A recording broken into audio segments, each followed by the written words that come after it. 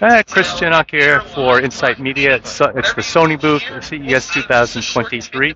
We're going to take a look at their volumetric capture demonstration here. So we're going to transport you from here at CES So, to Manchester. so what this fellow's doing is giving instructions right now to this uh, this participant here about how he's going to how they're going to do the volumetric capture.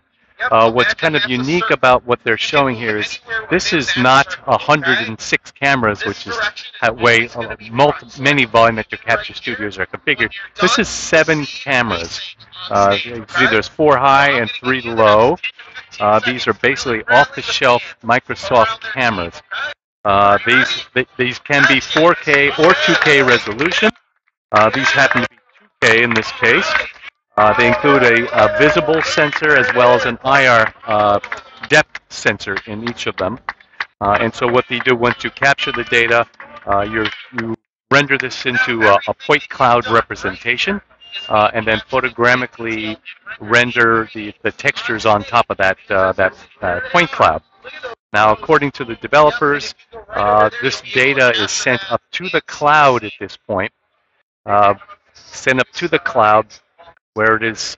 Now you can see here's here's the uh, here's the render of what this guy just did over here. Uh, it's actually a it's it's got a lot of artifacts in here. It's low resolution uh, on this screen as you can see. And you can see the point cloud parts coming in and out of that.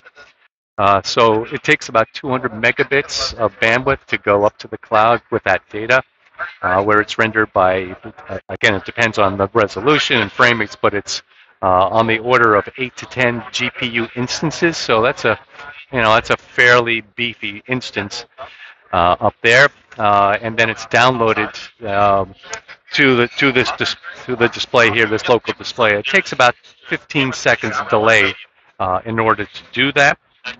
Um, uh, and hold on, just checking my notes here. Yeah, so the, the, the final image I was told is on the order of uh, 500 to 1,000 pixels, uh, which, uh, judging by that quality, is even marginal for a, a 2K display. It seems to me. There seems to be a lot of uh, a lot of artifacts that you saw. Uh, but that's uh, that's pretty much the story. The fact that you can uh, start to reduce this uh, to this level uh, of of cameras, um, interesting. And of course, they're going to be working on the fidelity uh, of that image going forward. That's Chris Chinnock at Insight Media.